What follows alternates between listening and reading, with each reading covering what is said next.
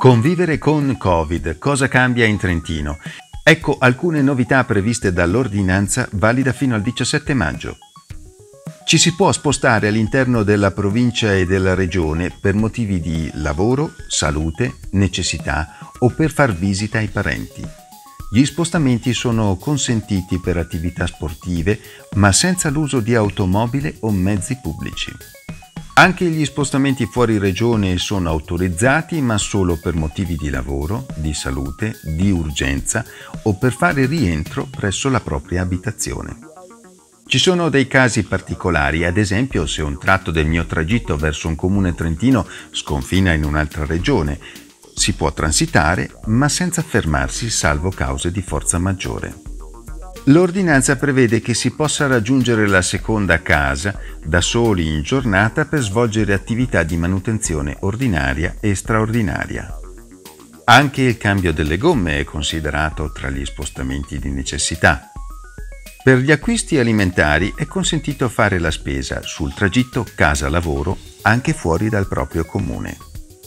Più in generale è consentito andare nelle attività di vendita di generi alimentari che si trovano nell'ambito territoriale dei comuni confinanti rispetto al proprio comune di residenza. Capitolo attività sportiva e all'aria aperta.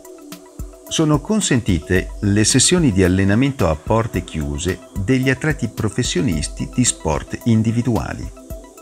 All'aperto, su tutto il territorio provinciale e regionale, è consentito svolgere attività sportiva individuale, corsa a piedi, bicicletta, caccia, pesca, qualsiasi sport individuale, oppure fare passeggiate e camminate. Attenzione, bisogna mantenere la distanza interpersonale, due metri per l'attività sportiva e un metro per ogni altra attività. Quando si fa attività sportiva bisogna portare con sé la mascherina e usarla se si incrociano altre persone. Non è obbligatoria per i bambini sotto i 6 anni e per le persone con forme di disabilità non compatibili con l'uso della mascherina. Quando invece si fanno passeggiate e camminate o lungo i tragitti per la spesa al lavoro, è bene usare la mascherina per proteggere il prossimo. Anche in questo caso non c'è l'obbligo per i bambini sotto i 6 anni e per le persone con forme di disabilità. Sempre in tema di attività sportiva o motoria, i minori e le persone non autosufficienti possono essere accompagnati da entrambi i genitori o congiunti dello stesso nucleo familiare. Ricordiamoci che l'attività sportiva e motoria deve avere inizio partendo dalla propria abitazione o luogo di lavoro.